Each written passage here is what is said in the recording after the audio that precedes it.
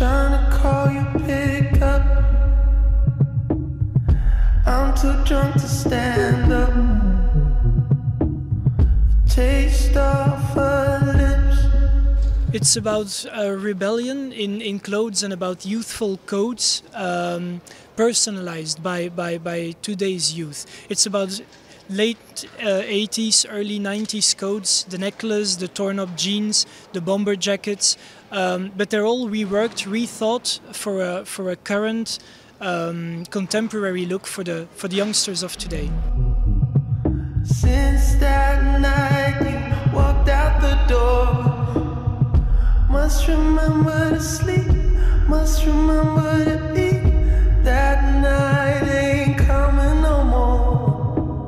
Is our 10th anniversary. This is my 20th show, so 10 year anniversary. Um, so I think I guess it's about about the hybrids. That's also why the show was called Illusions.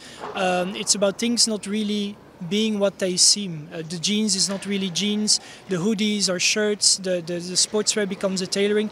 Those are classics I've been I've been using over the last 10 years. But but this is not a retrospective collection. It's a collection that is really looking to the future as the the young kids are that I took my inspiration from.